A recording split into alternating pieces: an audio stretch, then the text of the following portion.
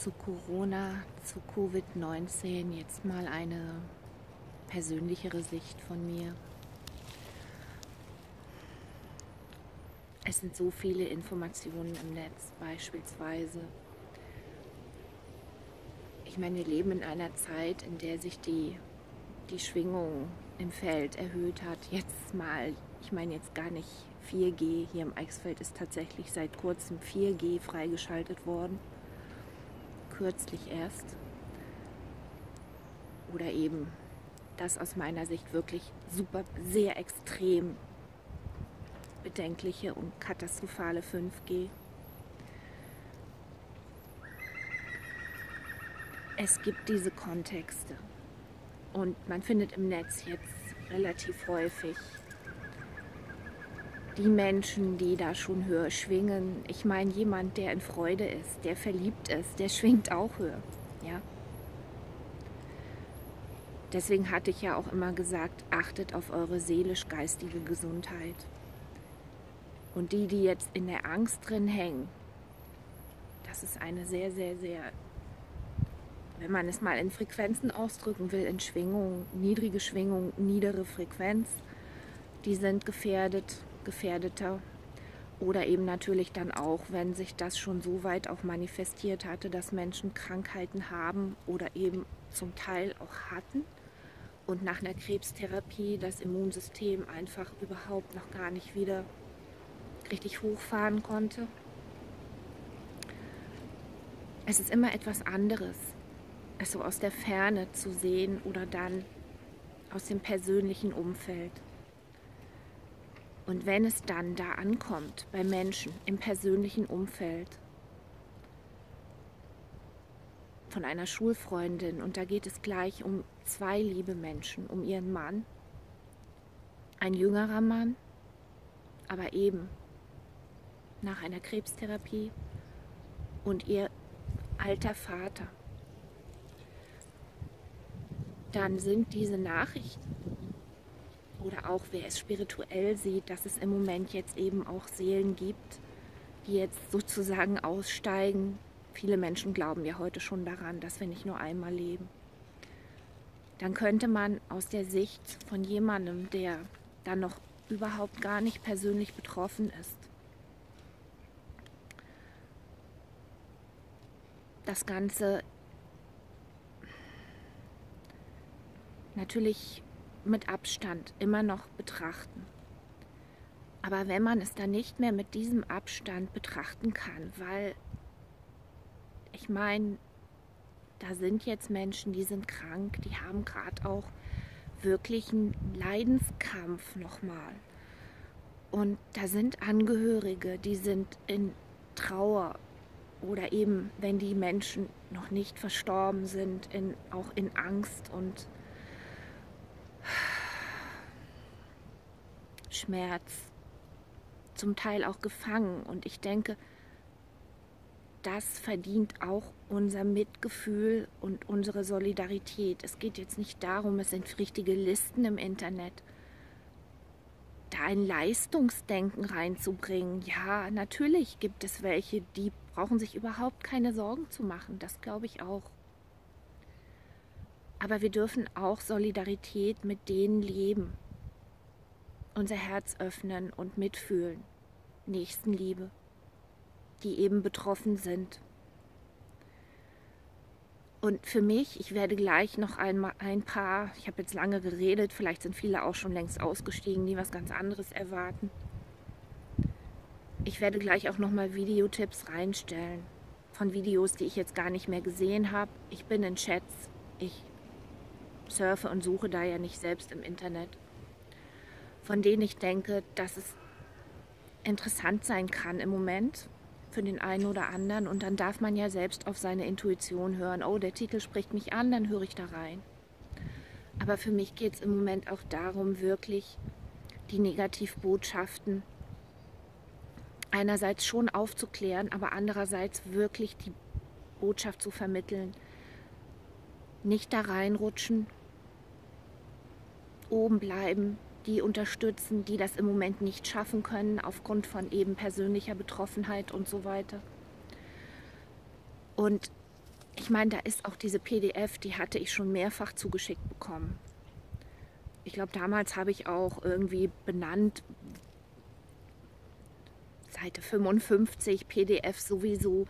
Ich denke, wer das wirklich finden will, der findet das. Ansonsten könnte ich da auch noch mal irgendwann näher was zu sagen, aber die habe ich schon mehrfach zugeschickt bekommen, jetzt auch wieder dass seit 2012 oder 2013 das der Bundesregierung bekannt gewesen sein soll, eben wenn man davon ausgeht, es ist künstlich, es ist gemacht und das glauben ja mittlerweile die meisten, dass es in Wuhan ausbrechen wird, dass man es dort relativ schnell unter Kontrolle bringt, dass die Bundesregierung gewusst haben soll, dass es zwei Monate später in Deutschland ankommt. Aber eben, dass das alles einem größeren Plan folgt, der da bedeutet, dass man eben nicht rechtzeitig dann doch eben die nötigen Schritte, wenn man so will, eingeleitet hat, weil das alles auch so gewünscht war. Und eben Wuhan geplantermaßen schnell im Griff und dann die Oberhand über die den Markt, die Weltwirtschaft. Aber das sind ja nicht alle Chinesen. Da meint man dann, die, die aufgeklärter sind, ich sage es jetzt nochmal eben wieder, doch die vom Deep State. Ich sage nicht, das weiß ich, aber da gibt es eine PDF und das scheint ein Originaldokument aus dem Bundestag zu sein und die kursiert im Netz. Und das ist zum Beispiel ja auch, wer das jetzt vorher gar nicht für möglich gehalten hat, für den doch irgendwie die deutschen Politiker, es gab ja eben so gesehen nie diese freie Nation nach dem Zweiten Weltkrieg eingesetzt, dann kam einer nach dem anderen. Ich sage nicht, dass da nicht auch mal Lichtblicke mit drin waren, zumindest partiell. Trump ist auch kein Engel. Natürlich, der Mann hat ein Riesenego. Und man kann nur hoffen, dass er jetzt in den ganzen Prozess, es kursieren auch Bilder im Netz, da steht immer Jesus hinter ihm. Das wäre ja für die, die das glauben. Eine wunderbare Vision und die große Hoffnung, ja.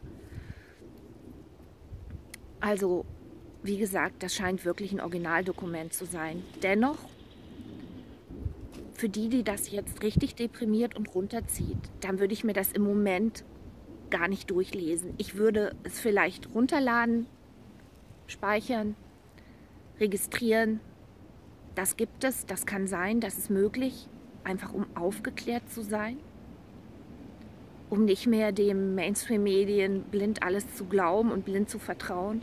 Aber wer das Gefühl hat, ich verkrafte das im Moment nicht, dann wartet ab, dann macht es später. Oder überhaupt, wenn ihr das Gefühl habt, es ist dran, so oder auch nicht. Und ich sage jetzt mal so, die Menschen, die glauben, ob man es nun Gott, den Schöpfer, die Quelle nennt, das spielt für mich gar keine Rolle. Es kommt jetzt auf uns an, auf jeden Einzelnen, aber eben tatsächlich auch auf unser kollektives Bewusstsein. Und die, die glauben, die dürfen jetzt beten, weil für mich ist Aufklärung das eine, aber das kollektive Gebet das andere. Und ich halte das für sehr machtvoll, wenn es wirklich schon von Herzen kommt. Ich fand auch, auch eine Catherine Turner weiß nicht alles. Sie gibt ihr Bestes, sie verfolgt die Dinge, sie sagt, was ihre Intuition und ihr Herz ihr als richtig eingeben. Und ich fand diese Vision, die sie ja auch mal geäußert hat, sehr, sehr positiv und äh, wichtig. Ähm, sie sagte, dass selbst wenn es kippen würde und die NWO, die neue Weltordnung im Sinne der elitären Kaste nenne ich es jetzt mal, kommen würde. Es gibt schon zu viele erwachte Menschen. Sie meint, das kann gar nicht mehr funktionieren. Und die Hoffnung habe ich auch. Ich meine, es gibt so viele Sachen. In Österreich, Kuh sagte, Österreich wäre zu diesem Zeitpunkt längst sauber. Kuh ist nicht Gott. Es gab Visionen von ihm, die sind eingetreten. Und es gab Visionen, die, ja, die sind nicht eingetreten. Man hatte ja eine Zeit lang gesagt, dass er auch bewusst ähm, Dinge gestreut hat, äh, damit die andere Seite eben auch nicht so richtig Verwirrung. Es gibt eine Menge, was er sozusagen prophezeit hat, was eingetreten ist, auch sogar ziemlich genau zu dem Zeitpunkt. Aber die Zukunft kann sich auch immer ändern. Also ich meine, das hat ja auch was mit uns zu tun. Ja, es hat was ähm, damit zu tun, wie wir, jeder Einzelne jetzt, seinen Prozess lebt und wir als Menschheit. Also weder Menschen aus dem spirituellen Bereich noch Q noch auch, äh, auch Catherine Turner wissen nicht alles und wer da glaubt, der darf sich jetzt auch wirklich dahin wenden im Vertrauen. Im Gebet. Mittun, ja, aufklären, ja. Ich finde auch diese christliche Gemeinschaft, die sehr viel gute Aufklärungsarbeit geleistet hat bei KlarTV, das ist unglaublich wichtig. Und sie pushen jetzt auch, weil sie vielleicht immer noch glauben, im Moment ist das Netz freier. Aber viele rechnen ja damit, dass es vielleicht auch nochmal abgeschaltet wird für eine Zeit um dann vorher schon noch möglichst viele Menschen erreicht zu haben, viel Informationen da rausgegeben zu haben. Alles wunderbar, aber ich denke und ich hoffe, Sie vergessen auch nicht das Gebet. Ja, genau.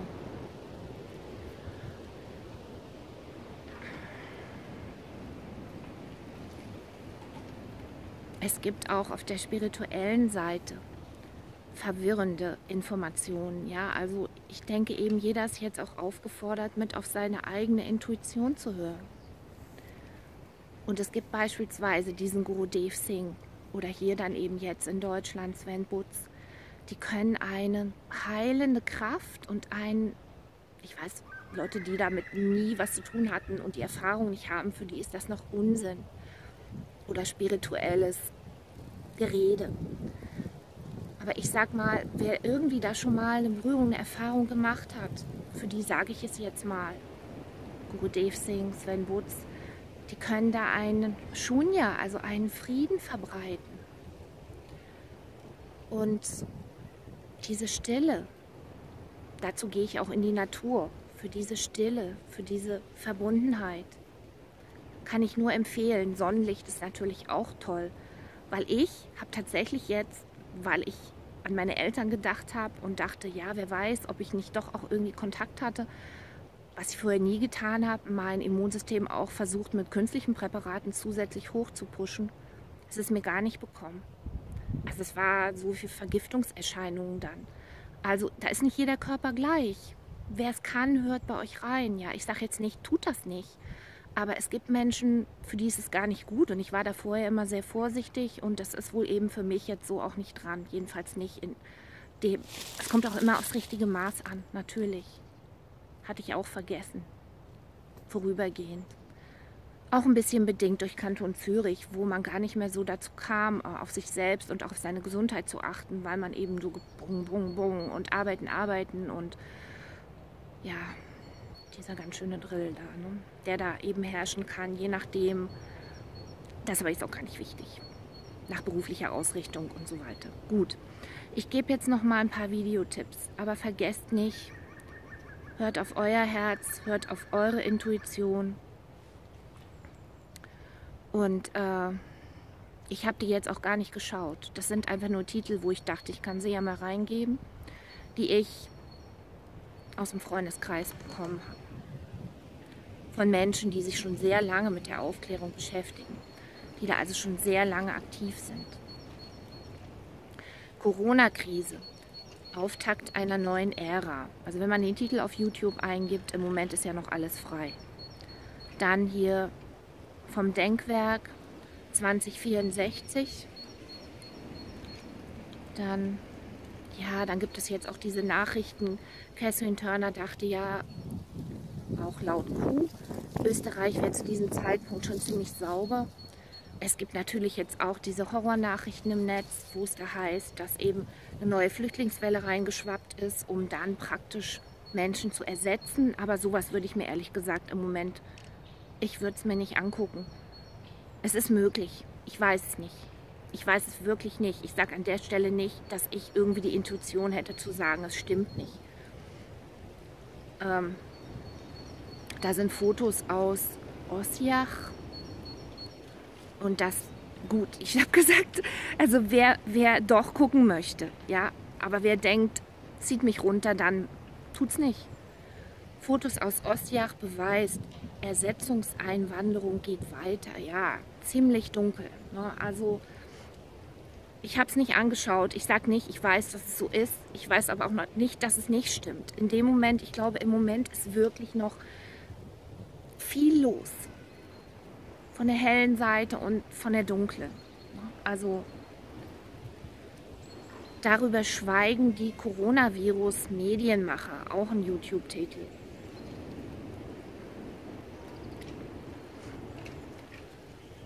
Es gibt übrigens, wer, wer meditieren kann, auch Online-Meditation mit Sven Wutz, Turia, wen das anspricht. Ich habe mich wieder besonnen. Also wer meditieren kann, der hilft damit auch seinem Umfeld, weil er auch sein Hallo, weil er damit auch sein Umfeld in die Ruhe bringen kann. Tatsächlich auch heilende Energie, wer das schon glaubt. Da gibt es ja auch ganz andere Kreise von Heilern noch. Um den ehemaligen Pater Pio, ähm, diesen mit G, ach, bringe ich ein andermal. Gut. Und vor allen Dingen ist es auch gut für eure eigene Gesundheit. Also wer meditieren kann, vergesst es jetzt nicht. Vergesst nicht auch für euch zu sorgen. Ähm, dann hätten wir hier noch einen Report vom 18.03.2020. Nach und nach werden alle Ausgänge weltweit gesperrt. Dann gibt es auch noch mal was von Amazing Polly, eine gute Aufklärerin, aber die natürlich jetzt nicht gerade die positive Vision, sondern einfach das, was kommen könnte, den Worst Case eigentlich ja immer so rübergebracht hat. Es gibt noch mal eins von ihr, Amazing Polly Deutsch. Mit uns wird gespielt, wir werden geplagt. Aber nochmal mein Aufruf, vergesst nicht die positive Vision für euer eigenes Leben auch, aber vor allen Dingen auch global, für uns als Menschheit. Zu mir kam jetzt auch in Bezug auf diesen erkrankten jungen Mann, den ich kenne, so ein positives Bild zu mir von ganz wie von selbst, ja wirklich, wo ich ihn gesehen habe ähm, zu einer Zeit, ähm, ja, wo es ihm total gut ging, wo er gesund und fröhlich war. Und das kann tatsächlich, glaube ich, auch helfen. Das kam so zu mir und das Bild habe ich jetzt immer wieder vor Augen. Vielleicht hilft es ja. Also diese Dinge sind tatsächlich auch eine Realität. Es gibt eine Menge Dinge zwischen Himmel und Erde, die der Mensch, der das nicht erfahren hat, erstmal noch für unmöglich hält und für, ja, eben leider dann auch noch für Nonsens. Dr. Stefan Lanker hat auch noch mal was gebracht. Ja, aber natürlich, jeder, der jetzt das total leugnet, dass es da einen Krankmacher gibt, das, das ist jetzt nicht meine Auffassung. Aber trotzdem bringt er immer recht gute Hinweise und stellt Dinge im Kontext dar, äh, im Hinblick auf uns Menschen, eingebunden in die Natur, unser ganzes System ist ja auch ein komplexes System. Also da ist er wirklich auch jemand, der hilfreiche Tipps geben kann und der da auch einen anderen Horizont schon mal öffnet. Dann eine Beatrix und der Nachname ist Fabian-Bertha. Das Coronavirus ist Element des Systems